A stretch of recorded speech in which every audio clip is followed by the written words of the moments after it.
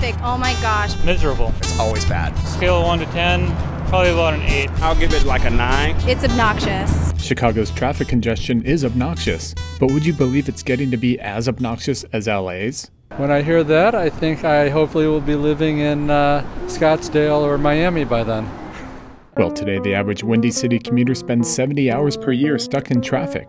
That ties Washington, D.C. for the worst in the nation. And yeah, it's even worse than LA. It's like the same amount of time you spend on vacation every year, you spend stuck in traffic if you're a typical commuter in Chicago. And if you think things are bad now, just wait. Chicago has a 25 year plan that says in 25 years we will have spent billions of dollars and everything will be worse. There is no fun in sitting in traffic. It raises my blood pressure. Something that will usually take you some 15 minutes to get somewhere, it takes you an hour. Stress and wasted time. Two awful effects of traffic congestion. But there are many others. By a whole slew of economic and personal measures, congestion is much worse than people realize. Imagine this is you in your car. The circle represents the amount of ground you can get to in a reasonable amount of time, say 30 minutes. The dots represent all the possible jobs you could apply for. The bigger your opportunity circle, the better chance you have of landing a great job. But in Chicago and many other cities, opportunity circles are shrinking because traffic congestion is growing. If it gets any worse than what it is now, I have to start looking for somewhere else to work.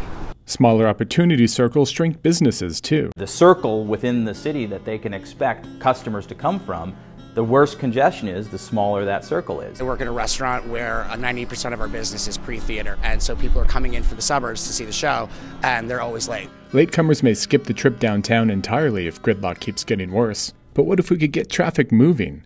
Think about it. How would your life change if you could get to places quickly? Spend more time at home rather than on the road. I could probably get more done in a day. I'd be able to get more sleep. I have to work out after work.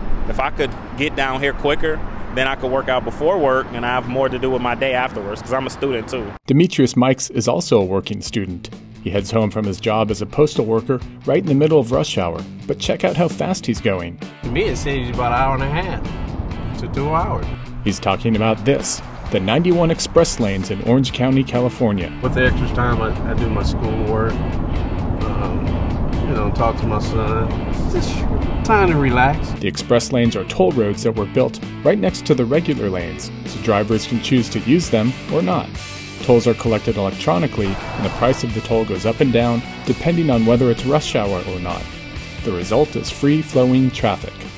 If you have these toll lanes, the buses go in there for free and they're never stuck in traffic because the price is set to always keep those lanes free flowing. So now you've got a better transit option too. And taxpayers didn't foot the bill. The express lanes were financed and built by a private company. And when there's no room on the surface, the same concept can go above ground or tunnel underground, as is common in France, England, Australia, and many other nations. So, what about folks in Chicago? They're stuck on the Eisenhower and the Kennedy, and they're dreading having to go through the spaghetti bowl, and, and that's just you know that's just the reality. And other than paving them, they really haven't done anything to alleviate the congestion. So, how about something new? Finally, fixing some of the worst traffic snarls. I would just like to get people moving. Here's a new plan that would do that build tunnels or elevated lanes if there's no room on the surface, use pricing to keep traffic flowing, and get a private company to build it.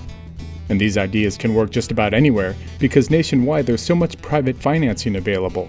Good news for cash strapped governments because the alternative is pretty awful.